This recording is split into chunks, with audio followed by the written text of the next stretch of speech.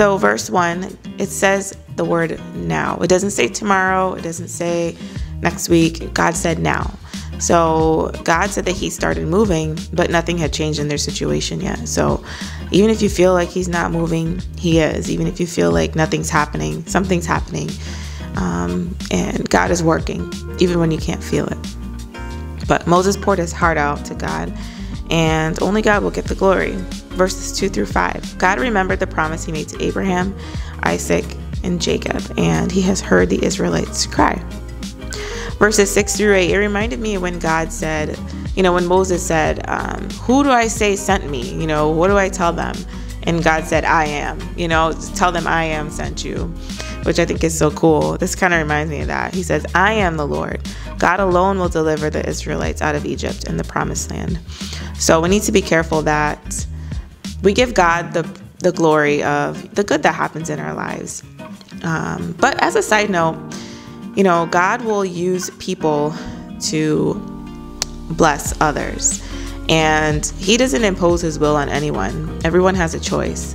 And so you can either make a choice to live for God and and live out His His will for your life, um, or you can choose not. And you know, sometimes people sometimes people think that God is not moving in their lives when it's really God is waiting for you to move and for you to have faith.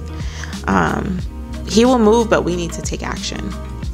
Verse 9 Moses reported this to the Israelites, but they didn't listen because of their circumstances. And that's a really important place to think about. You know, if you're in a bad situation or if you have bad circumstances or unfortunate circumstances and you're thinking, you know, why should I even have faith in God because of look at everything going on in my life. Um, the Israelites were on the verge of a breakthrough and they could have missed it um, because of their circumstances, looking at their circumstances. So take your eyes off of your circumstances and look at your Creator and know that He is working it out for you. Verses 10 through 12 God told Moses to go and tell Pharaoh and to let the Israelites go.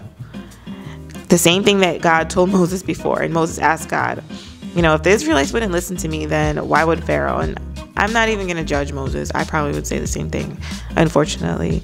But we need to have faith as, you know, as foolish as something sounds to us. I mean, he's God. Why would we ever question God? you know? Um, I don't know, just we're silly humans sometimes. Verse 13 The Lord spoke to Moses and Aaron about the Israelites and Pharaoh.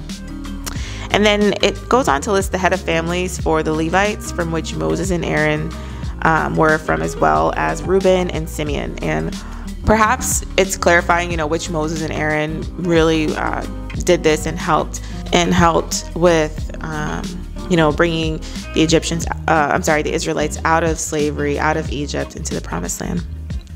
Verse 26 Moses and Aaron, um, the Levites. And I thought that was worded kind of um, interesting.